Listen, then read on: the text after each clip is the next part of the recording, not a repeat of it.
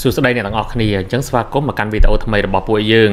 តាមពិតទៅបញ្ហា bullying នេះគឺកើតមានគ្រប់កន្លែង គ្រប់ប្រទេសតែម្ដងហើយខ្ញុំគិតថាយើងគួរតែនាំគ្នានិយាយបានញឹកញាប់បន្តិចតាក់ទងជាមួយនឹងបញ្ហានេះព្រោះថាវាគឺជាបញ្ហាធំមែនទែនដែលធ្វើឲ្យប៉ះពាល់ទៅដល់មនុស្សម្នាក់ដែលរងគ្រោះដោយសារតែការ bullying ហ្នឹងការមើងងាយការយកនរណាគេម្នាក់មកលេងសើចការរិះគន់ទៅលើកាយសម្បទានរណាគេម្នាក់នៅក្នុងសង្គមនេះគឺវាប៉ះពាល់ខ្លាំងមែនទែនទៅដល់អារម្មណ៍សតិរបស់ជនរងគ្រោះធ្វើឲ្យពួកគេបាត់បង់នៅ self confidence បាត់បង់នៅ self esteem ទាំងអស់តែម្ដងអញ្ចឹងនៅពេលដែលមនុស្សម្នាក់មិនមានជំនឿជឿជាក់នៅលើខ្លួនឯងប្រកាសណាស់អ្វីៗសពគ្រប់បែបយ៉ាងដែលនៅខាងមុខគាត់គាត់មិនអាចប្រយុទ្ធតបតឬក៏ឆ្លើយតបជំនឹងបញ្ហាទាំងអស់នោះបានទេដោយសារតែគាត់បាន break inside បាត់បង់នៅការជឿជាក់មកលើខ្លួនគាត់ទៅហើយដូច្នេះទេបើសិនជាអ្នកទាំងអស់គ្នាមិនមែនជាជនរងគ្រោះនៃការ bullying ទេ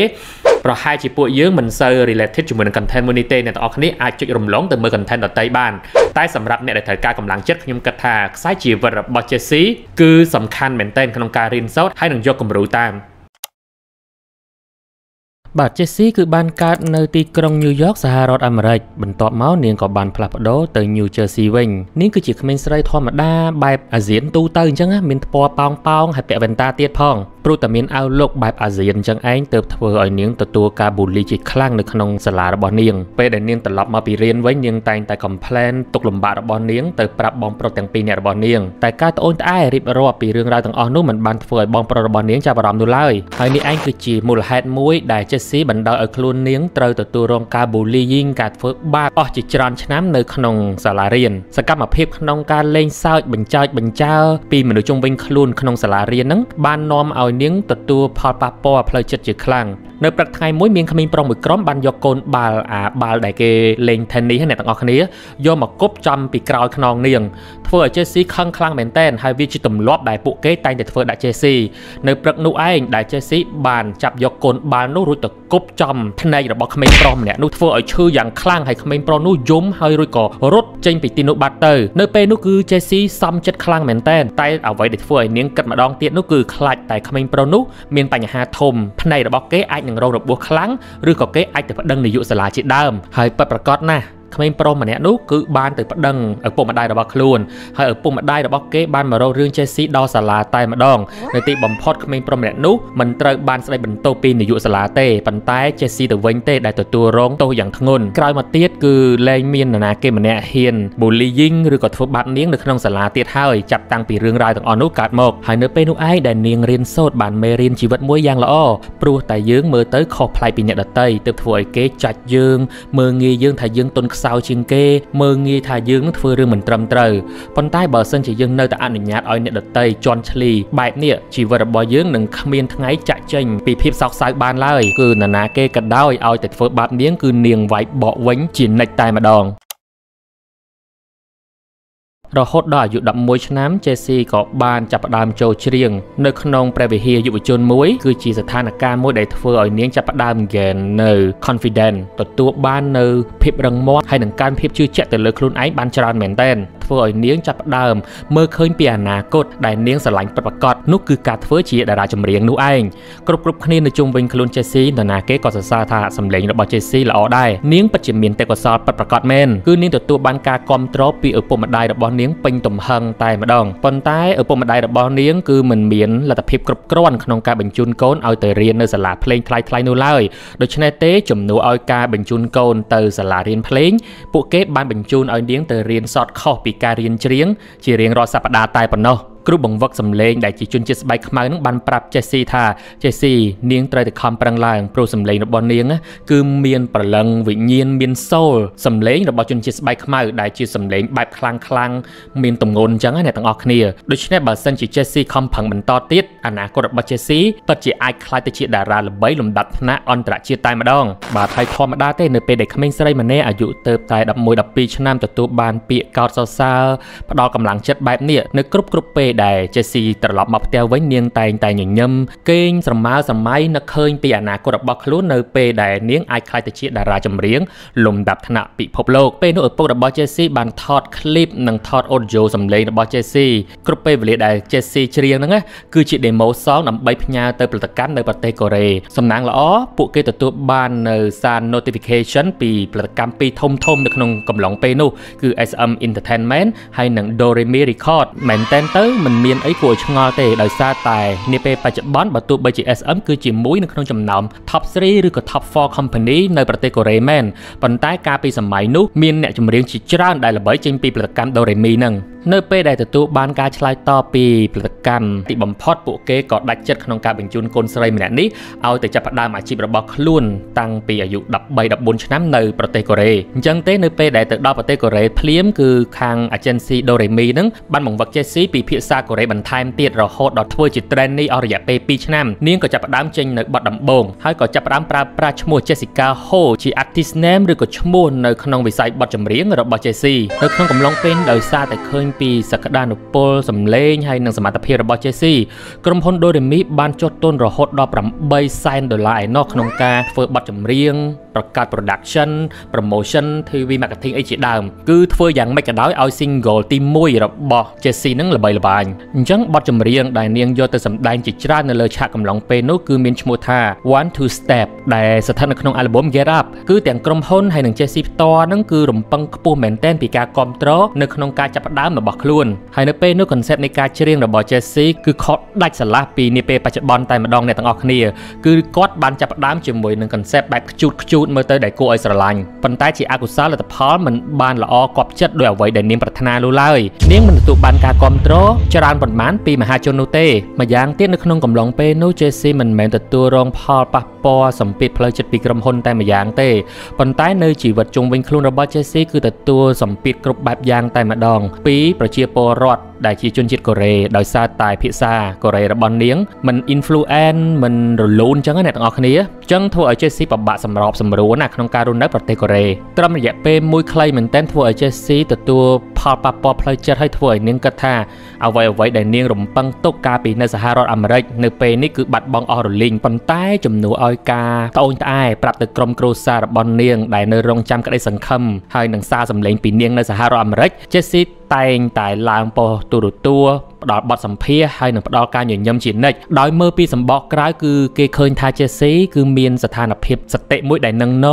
រស់នៅក្នុងជីវិតមួយដែលសប្បាយរីករាយអ្នកទាំងអស់គ្នាបានន័យថានៅក្នុងចំណុចនោះ Jessie បានបាត់បង់នៅការបារម្ភពីខ្លួនឯងនៅចំណងចំណូលចិត្តដែលនាងមានក្តីសម័យរបស់ខ្លួននាងទៅហើយគឺនាងធ្វើដើម្បីឪពុកម្ដាយនិង agency តែប៉ុណ្ណោះ agency នាងបង្គាប់ឲ្យនាងនិយាយអីធ្វើអីសម្ដែងអីគឺនាងធ្វើតាមសពគ្រប់បែបយ៉ាងតែម្ដងពីមួយថ្ងៃទៅមួយថ្ងៃឈ្មោះរបស់ Jessie កាន់តែរលុបបាត់ចេញពីវិស័យសិល្បៈមនុស្សនៅក្នុងសង្គមចាប់ផ្ដើមភ្លេចពីឈ្មោះរបស់ Jessie ហើយជាហេតុដែលធ្វើឲ្យ Jessie មិនអាចលុកដៃចូលទៅក្នុងសកម្មភាពដែលបង្កឲ្យមានអត្ថន័យនៃការចងចាំនៅក្នុងសង្គមរបស់ប្រទេសកូរ៉េខាងត្បូងនោះឡើយ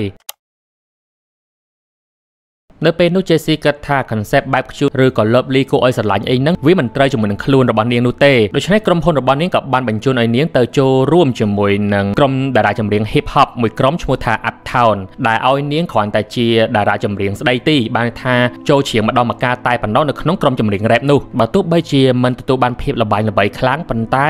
ឈ្មោះរបស់ Jessie ចាប់ផ្ដើមត្រូវបានគេទទួលស្គាល់ថាជា rapper មួយដែលមានសមត្ថភាពពិតប្រាកដយ៉ាងណាមិញក៏លើនៃការច្រៀង rap របស់គាត់ហ្នឹងក៏គ្រាន់បើជាងការច្រៀងបែប pop បែបខ្ជូតនេះដំណើរការនៅក្នុងការរីកចម្រើន ជាតារាចម្រៀង rap ស្រីនៅក្នុងក្រុម Uptown ហ្នឹងគឺរីកដុះដាលយ៉ាងរលូនប៉ុន្តែជាអកុសល Jessie ត្រូវមកជួបជាមួយនឹងវាសនាអាក្រក់ម្ដងទៀតគឺថាមានសមាជិកម្នាក់នៅក្នុងក្រុម Uptown ហ្នឹងត្រូវប៉ូលីសចាប់បានគាត់កំពុងបើកបរនៅពេលដែលសវឹងជោគជាំខ្លាំងមែនទែនដោយសារតែជាក្រុមតារាចម្រៀងកំពុងតែល្បីផងអញ្ចឹងធ្វើឲ្យ activity concert ឬក៏កុងត្រានានាជាមួយនឹង sponsor brand deal អីត្រូវបាន cancel ចោលទាំងអស់តែម្ដងនៅក្នុងកំឡុងពេលនោះគឺ Jessie ជួបជាមួយនឹងជីវិតមួយដែលមានវាសនាឡើងចុះឡើងចុះអញ្ចឹងណាធ្វើឲ្យនឹងធុញទ្រាន់ក្នុងការធ្វើបទចម្រៀងមែនតែននាងចាប់ផ្ដើមមានកំណត់មួយគឺបោះបង់ចោលនៅក្តីសម័យរបស់នាងក្នុងការដែលខ្លះជាតារាចម្រៀងល្បី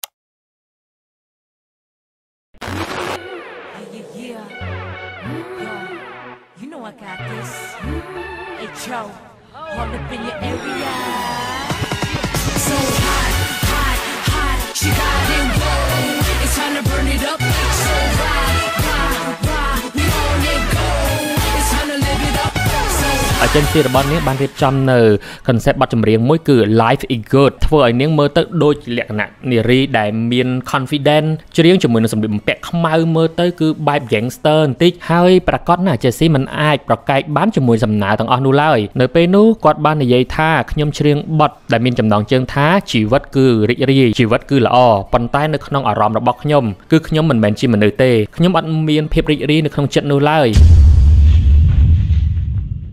បាទនៅក្នុងអាយុទៅតែ15 16ឆ្នាំទៅប្រឈមមុខជាមួយនឹងកងត្រា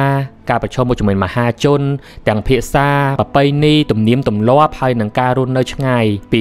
ឪពុកម្ដាយនេះគឺធ្វើឲ្យជីវិត Jessie ប្រឈមមុខជាមួយនឹងសម្ពាធខ្លាំងមែនទែន Jessie រស់នៅរងចាំតែថ្ងៃផុតកងត្រាចប់ចប់គឺនាងនឹងត្រឡប់ទៅរស់នៅជាមួយឪពុកម្ដាយរបស់នាងវិញហើយក្រោយមកនាងក៏បានធ្វើទៅតាមអ្វីដែលនាងគ្រោងទុកមែនអ្នកទាំងអស់គ្នានៅក្រោយចប់កងត្រាជាមួយនឹង Doremi នឹងនាងក៏បោះបង់ចោលអាជីពជាតារាចម្រៀងហើយក៏ត្រឡប់ទៅរស់នៅសហរដ្ឋអាមេរិកវិញដោយរំពឹងថានាងនឹងមានជីវិតមួយដែលសប្បាយរីករាយបាទបន្ទាប់មក Jessie ក៏បានត្រឡប់ទៅរៀនសូត្របញ្ចប់រហូតដល់ថ្នាក់ GED នៅសហរដ្ឋអាមេរិកក្រោយមកក៏ចាប់ផ្ដើមឈានជើងចូលទៅក្នុងវិស័យ fashion មិនមែនសិល្បៈបទចម្រៀងទៀតឡើយធម្មតាទេវាមាន activity music ដំណាច់ឆ្នាំនៅក្នុងសាលាអញ្ចឹងណាអ្នកទាំងអស់គ្នាជុំវិញខ្លួនរបស់ Jessie នៅក្នុងកំឡុងពេលនោះគឺគេលើកទឹកចិត្តឲ្យនាងខ្លាយទៅជាតារាចម្រៀងឲ្យនាងលូកដៃចូលទៅក្នុងអាជីពចម្រៀងអញ្ចឹងទៅបាទនៅពេលដែលមនុស្សចង់បែរទៅជា មិនទទួលបានការគ្រប់គ្រងប៉ុន្តែនៅពេលដែលមនុស្សម្នាក់បោះបង់ចោលបែរជាបាទមនុស្សនៅជុំវិញខ្លួនខំប្រឹងរុញគ្នាទៅវិញបាទបើទោះបីជាមិនបានធ្វើតាមពាក្យសម្ដីមិត្តភ័ក្តិរបស់នាងក៏ដោយប៉ុន្តែ Jessie ក៏ចាប់ផ្ដើមបាទឆេះឈួរអារម្មណ៍បន្តិចបន្តួចដែរអញ្ចឹងនាងក៏ចាប់ផ្ដើម cover song ពីបទនេះបទនោះអីចឹងទៅរួចក៏ផុសចូលទៅក្នុង YouTube ក្រោយមកក៏មានផលិតកម្មមួយនៅប្រទេសកូរ៉េឃើញវីដេអូឃ្លីបទាំងអស់នោះក៏ចាប់ផ្ដើមតាក់ទងមក Jessie ដោយប្រាប់ថាពួកគេចង់ធ្វើកុងត្រាជាមួយនឹង Jessie ក្នុងការផលិតបទចម្រៀងនៅពេលនោះគឺនាងស្ទាក់ស្ទើរមែនតែនហើយនាងបានសួរខ្លួនឯងជាច្រើនលើកជាច្រើនសារថាតើនាងគួរត្រឡប់ទៅរកភាព stress ភាពតប់អមល់ហើយនឹងផ្លេចអារម្មណ៍កាលពីប្រហែលឆ្នាំមុនហើយឬនៅមនុស្សដែលកើតមកជាមួយនឹង talent ហើយនឹងកើតមកជាមួយនឹងចិត្តដែលស្រឡាញ់ផ្នែកវិស័យសិល្បៈចម្រៀងទៅហើយបដិសេធនេះគឺមិនមែនជាចម្លើយរបស់នាងនោះទេនាងក៏ឆ្លើយ yes ទៅ agency នោះហើយក៏ចាប់ផ្ដើមផលិតនៅបទចម្រៀងថ្មីជាមួយនឹង agency ថ្មីនៅក្នុងកំឡុងពេលនោះ agency ថ្មីបានផ្ដល់សិទ្ធិឲ្យ Jessie ច្រើនមែនទែនក្នុងការសម្រេចចិត្តការចេញ concept បទចម្រៀងការសរសេរបទចម្រៀងអីជាដើមគឺធ្វើឲ្យ Jessie បាន find out ពី color ជា artist ជា singer របស់នាង នៅពេលដែលកំពុងតែ start up ជាមួយនឹងក្តីសម័យថ្មី agency ដែលធ្វើកុងត្រាជាមួយនឹង Jessie ហ្នឹងក៏ចាប់ផ្ដើមជួបជាមួយនឹងបញ្ហា bankruptcy បាត់បង់ដើមទុនជាច្រើនហើយទីបំផុត Jessie ក៏បានបញ្ចប់កុងត្រាជាមួយនឹង agency នោះទៅអញ្ចឹងមានន័យថា Jessie ត្រូវរស់នៅតែឯងទៀតហើយរស់នៅជាតារាចម្រៀងដែលអត់មាន agency អត់មានផ្ទះគឺរស់នៅបែបឯកាម្ដងទៀតហើយនៅក្នុងប្រទេសកូរ៉េខាងត្បូងដដែលហើយវាគឺជាអ្វីដែលនាងខ្លាចបំផុតនៅក្នុងការសម្រេចចិត្តលើកទី2មុនពេលត្រឡប់មកកូរ៉េខាងត្បូងព្រោះតែពេលនោះគឺនាងអត់មានផ្ទះសម្បែងគេងត្រឹមត្រូវអញ្ចឹងអ្នកទាំងអស់គ្នានាងធ្លាប់គេងនៅតាមសម្រាប់ផ្ទះអ្នកដតីហើយនឹងគេងនៅកន្លែងបន្ទប់សូណាសាធារណៈទៀតផងបាទប្រើប្រាស់ជីវិតបែបហ្នឹងទៅជារឿយៗជាមួយនឹងការព្យាយាមខំប្រឹងរក agency ថ្មីក្នុងការចុះកិច្ចសន្យាអញ្ចឹងណាសំណាងល្អដែរនាងក៏បានចុះកិច្ចសន្យាជាមួយនឹងក្រុមហ៊ុនមួយទៀតថ្មីគឺឈ្មោះថា YMC Agency តែទោះជាយ៉ាងណាក្តី agency ថ្មីនោះបានផ្ដល់ឲ្យនាងគ្រាន់តែ featuring ច្រៀងជាមួយតារាចម្រៀងដតីតែប៉ុណ្ណោះនៅក្នុង agency នោះมันបានផ្ដល់ជា solo album ឬក៏ជាបទចម្រៀងឲ្យនាងផ្ដាច់មុខនោះឡើយមិនត្រឹមតែប៉ុណ្ណោះ agency ថ្មីនោះបានណែនាំឲ្យនាងទៅធ្វើការវះកាត់កែសម្រស់ការវះកាត់តបភ្នែកធំជាងមុនដាក់ខ្ទង់ច្រមុះបាទចាក់មាត់កែប្រែតាគៀកនឹងរៀងអីចឹងទៅធ្វើមិនក៏ដោយឲ្យស៊ីជាមួយ concept ជា rapper របស់នាងអត់មានជំរឿទេអ្នកទាំងអស់គ្នាបើទោះបីជាចង់ឬក៏មិនចង់ក៏ដោយអញ្ចឹងទីបំផុតនាងក៏បាទទទួលការវះកាត់ភ្នែកបាទដាក់ខ្ទង់ច្រមុះចាក់មាត់និងធ្វើដើមទ្រូងធ្វើតាគៀកទាំងអស់តែម្ដងក្នុងគោលបំណងមួយផ្លាស់ប្ដូររូបរាងទៅជា Jessie ថ្មីដែលស័ក្តិសមជាមួយនឹង rapper ស្រីចឹងណាអ្នកទាំងអស់គ្នាដោយ agency និយាយហើយនិយាយទៀតថា តាមពិតទៅការដែលនាងមិនល្បីមិនមែនដោយសារតែសមត្ថភាពនាងមិនមាននោះទេប៉ុន្តែដោយសារតែរូបរាងរបស់នាងអត់ស៊ីជាមួយនឹង concept បទចម្រៀងរបស់នាងច្រើនជាងប៉ុន្តែជាអកុសលបើទោះបីជា Jessie បានកែប្រែសម្រស់របស់នាងទៅតាម agency ប្រាប់ហើយក៏ដោយក្តីអាជីពជាតារាចម្រៀង rap របស់នាងនៅតែមិនទទួលបានភាពជោគជ័យជួបបញ្ហាជីវិតជាច្រើនឧបសគ្គឡើងចុះឡើងចុះផ្លេចផ្លេចខ្លួន Jessie បានឆ្លងផុតនៅវ័យជា teenager ទៅហើយចាប់ពីអាយុ13ដល់26ឆ្នាំ Jessie បានប្រើប្រាស់រយៈពេលអស់ជាង13ឆ្នាំក្នុងការស្វែងរកចំណុចគោលដៅមួយយ៉ាងខ្ពស់របស់ខ្លួននៅក្នុងវិស័យចម្រៀង នៅពេលនោះនាងបានសួរខ្លួនឯងជារៀងរាល់យប់តែម្ដងថាតើនាងត្រូវតែបន្តអាជីពមួយនេះឬក៏ត្រូវតែបោះបង់ចោលបើនៅតែបែបនេះទៀតជីវិតរបស់នាងនឹងខូចខាតខ្លាំងជាងនេះជាក់ជាពុំខានបាទនៅទីបំផុត JC ក៏បានចោះចាញ់ព្រមបោះបង់ចោលនៅអាជីពជាតារាចម្រៀងជាលើកទី2នៅក្នុងជីវិតរបស់នាងនៅក្នុងថ្ងៃមួយមាន producer ដឹកនាំបទចម្រៀងម្នាក់ដែលគាត់ចាត់ចែងកម្មវិធី talk show មួយបានអញ្ជើញ JC ឲ្យឡើងកម្មវិធីរបស់គាត់ពេលនោះ JC បានសម្រេចចិត្តឲ្យក្នុងការបោះបង់ចោលវិស័យបទចម្រៀងនាងបានប្រាប់អ្នកដឹកនាំនោះថាខ្ញុំទទួលរងសម្ពាធផ្លូវចិត្តគ្រប់គ្រាន់ហើយខ្ញុំមិនអាចទទួលរងនៅសម្ពាធបន្តទៀតបាននោះឡើយប៉ុន្តែដោយសារតែការ resistance ការព្យាយាមតស៊ូពីអ្នកដឹកនាំម្នាក់នោះ JC ក៏ព្រមឡើងកម្មវិធីមួយរបស់គាត់គឺជាកម្មវិធីបែបគេហៅថា rap ឆៅឆៅតែម្ដងដោយជាកម្មវិធីថ្មីមិនដែលមានទេនៅប្រទេសកូរ៉េខាងត្បូងនៅក្នុងកំឡុងពេលនោះហើយ program មួយនោះមានឈ្មោះថា Unpretty Rap Star ឬក៏ជាតារាចម្រៀង rap ដោយមិនមានសម្រស់រូបសម្បត្តិស្រស់ស្អាតនោះឯងនៅក្នុងកម្មវិធីមួយនោះ JC បានបង្ហាញពី powerful rap skill របស់នាង ពីសមត្ថភាពពេញទំហឹងថាតើនរណាគេគឺជា Jessie នាងរបៀបប្រើកម្មវិធីនេះគឺជាកម្មវិធីចុងក្រោយដែលទុកជា memory នៅពេលដែលនាងចាស់តែម្ដងអ្នកទាំងអស់គ្នាដូច្នេះអ្វីដែលមាននៅក្នុងខ្លួនគឺ Jessie បញ្ចេញទាំងអស់នៅក្នុងកម្មវិធីនោះធ្វើឲ្យអ្នកទស្សនានឹងកាន់តែយល់ពីថាតើ Jessie គឺជានរណាគេអញ្ចឹងអ្នកទាំងអស់គ្នាគាត់លែងខ្វល់ឲ្យថាតើអ្នកមើលនឹងកាត់សេចក្តីគាត់ថាជាមនុស្សបែបណាជាមនុស្សស្រីដែលមានសម្ដីបាទគ្រោកគ្រៀតគំរោះគំរើយហើយនឹងនិយាយពីអាភីអីជាដើមអញ្ចឹងណាគឺនាងលែងខ្វល់ហើយខ្វល់តែម្យ៉ាងតើនាងគឺជានរណាហើយគាត់បានធ្វើឲ្យកម្មវិធីនោះមាន colorful ខុសប្លែកពីអ្វីដែលអ្នកដឹកនាំចង់បាន Jessie បាននិយាយនៅក្នុងបទសម្ភាសន៍មួយថានាងបានខ្វាយខ្វល់ពីអារម្មណ៍របស់អ្នកដទៃតាំងពីដើម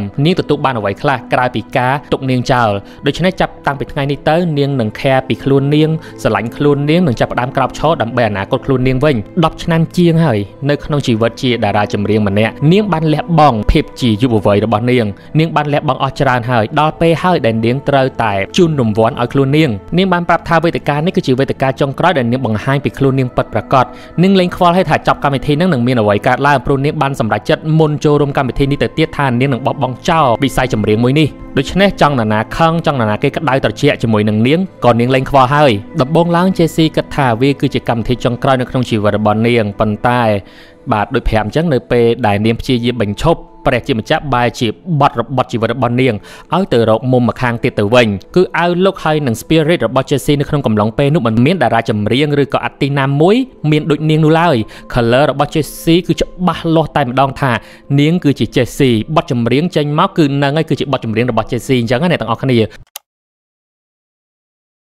បំផុតគឺនាងក៏ទទួលបានភាពល្បាញល្បីទទួលបានការចាប់អារម្មណ៍យ៉ាងខ្លាំងពីសំណាក់ទស្សនិកជន ហើយក៏ជាឱកាសលើកដំបូងហើយនៅក្នុងជីវិតជាតារាចម្រៀងស្រីរបស់នាងដែលនាងទទួលបានអារម្មណ៍បែបនេះបាទហើយភ្ជុះភ្លៀងមិនទាន់ចប់ត្រឹមប៉ុណ្្នឹងទេឧបសគ្គថ្មីក៏បានចូលមកដល់ជីវិតរបស់ Jessie មនុស្សគ្រប់គ្នាគិតថាអ្វីដែលធ្វើឲ្យ Jessie ល្បីនាពេលបច្ចុប្បន្នមិនមែនដោយសារតែសមត្ថភាពចម្រៀងនោះទេបានន័យថានាងល្បីដោយសារតែអាវលុករបស់នាងមិនមែនជាសមត្ថភាពពិតប្រាកដនោះឡើយហេតុអ្វីបានជាជីវិតរបស់នាងល្បីល្បីហើយក៏ចាប់ផ្ដើមលេងល្បីវិញជោគជ័យហើយក៏បរាជ័យអញ្ចឹងណាអ្នកទាំងអស់គ្នា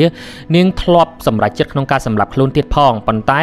រៀបនឹងធ្វើសកម្មភាពទាំងអស់នោះនាងក៏ចាប់ផ្ដើមគិតទៅដល់ឪពុកម្ដាយរបស់នាងថាតើពួកគេនឹងរស់នៅបែបណានៅពេលដែលគ្មាននាងនាងក៏បានបបង់ចោលការគិតឈុតឈុតនោះទៅគឺអត់ចេះចាប់អត់ចេះហើយទេបើយើងរស់នៅក្រោមការកាត់សេចក្តីរបស់អ្នកដទៃប៉ុន្តែនៅក្នុងកំឡុងពេលនោះនាងក៏ចាប់ផ្ដើមលេចនៅបទចម្រៀងថ្មីមួយទៀតដោយគិតទៅដល់ឪពុកម្ដាយរបស់នាងនោះឯងគឺបទនោះមានចំណងជើងថា I want to be me ខ្ញុំចង់ធ្វើជាខ្លួនខ្ញុំបាទហើយនាងក៏បានយកបទចម្រៀងនោះទៅសម្ដែងគ្រប់ឆាកតន្ត្រីហើយក៏ផ្ដាំផ្ញើជាបទចម្រៀងចុងក្រោយនៅក្នុងជីវិតរបស់នាងតែម្ដងអញ្ចឹងណាគ្រប់ឆាកតន្ត្រីដែលនាងសម្ដែងជាមួយនឹងបទចម្រៀង I want to be me នេះបានធ្វើឲ្យនាងបានបង្ហាញពីការព្រួយបារម្ភ anxiety ការបាក់ទឹកចិត្តអារម្មណ៍ដែលមហាជនទូទៅអាចនឹងមានដូចនាងឬក៏ related ជាមួយនឹងអារម្មណ៍បែបហ្នឹងហើយទីបំផុតគឺនាងបានធ្វើឲ្យមហាជនចាប់ផ្ដើមទទួលស្គាល់នាងគឺនាងមានទាំង strong look ហើយនឹងមានទាំងសមត្ថភាពក្នុងការច្រៀងបន្ទាប់មកទៀតនាងក៏បានធ្វើកងត្រាជាមួយនឹងតារាចម្រៀងម្ចាស់បទ Gangnam Style គឺផ្សាយនឹងឯងដោយគាត់បានបង្កើតនៅផលិតកម្មថ្មីមួយឈ្មោះថា P Nation ផ្សាយគឺជាមនុស្សម្នាក់ដែលយល់ច្បាប់ពី Jessie ខ្លាំងជាងគេបំផុតវាគឺជាមូលហេតុដែលនាងសម្រេចចិត្តក្នុងការចុះកងត្រាជាមួយនឹងក្រុមហ៊ុន P Nation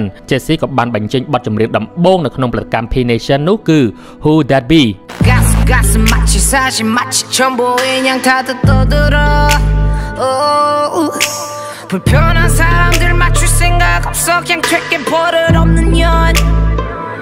បាទលទ្ធផលគឺគួរឲ្យភ្ញាក់ផ្អើលបទចម្រៀងនេះបានពង្រីកទីផ្សារការងាររបស់ Jessie ចេញពីប្រទេសកូរ៉េខាងត្បូងទៅលំដាប់ថ្នាក់ពិភពលោកតែម្ដង បាទហើយបទចម្រៀងមួយនេះក៏ទទួលបានចំណាត់ថ្នាក់លេខ8នៅសហរដ្ឋអាមេរិក Billboard World Digital Song Chart ហើយលទ្ធផលនៃបទចម្រៀងនេះឯងដែលធ្វើឲ្យគេគ្រប់គ្នាដឹងថា Jessie មិនមែនជាតារាចម្រៀងត្រឹមតែនៅក្នុងប្រទេសកូរ៉េខាងត្បូងបន្តទៀតនោះទេប៉ុន្តែគឺជាតារាចម្រៀងលំដាប់ថ្នាក់ពិភពលោកនៅក្នុងឆ្នាំ2020នាងថែមទាំងបានខាងសមាគម Grammy អញ្ជើញនាងឲ្យចូលរួមនៅក្នុង Grammy After Party ដែលនាងគឺជា Asian Woman គឺជាតារាចម្រៀងស្រីដែលមានសញ្ជាតិអាស៊ីដំបូងគេហើយនឹងតែម្នាក់តែប៉ុណ្ណោះដែលមានវត្តមាននៅក្នុងកម្មវិធីមួយនោះហើយនាងទទួលបានការទទួលរាក់ទាក់ហើយនឹង corporation ជាមួយនឹង World Class Producer ដទៃទៀតជាច្រើននៅក្នុងកម្មវិធីនោះធ្វើឲ្យគេគ្រប់គ្នាគិតថាអាជីពរបស់ Jessie ចាប់ផ្ដើមរីកដុតដាលខ្លាំងមែនទែនហើយនាងចាប់ផ្ដើមមានទីផ្សារនៅសហរដ្ឋអាមេរិកហើយតែយ៉ាងណាមិញការសម្ដែងនិង concert នានាដែលនាងចាប់ផ្ដើមមានកម្រោងនៅក្នុងសហរដ្ឋអាមេរិកត្រូវបាន cancel ទាំងអស់ដោយសារតែ COVID-19 នឹងឯងបើទោះបីជាមិនបានសម្ដែងឬក៏ debut song នានានៅសហរដ្ឋអាមេរិកប៉ុន្តែ Jessie ត្រឡប់មកប្រទេសកូរ៉េខាងត្បូងវិញដោយចាប់ផ្ដើមបង្កើតនៅបទចម្រៀងថ្មីមួយទៀតដែលធ្វើឲ្យភ្ញាក់ផ្អើលពិភពលោកម្ដងទៀតដោយនាងបានបញ្ចេញបទថ្មីមួយឈ្មោះថា Nunu Nana ហើយបានសៀកផាជាមួយនឹង100លាន view នៅក្នុង YouTube ទៀតផង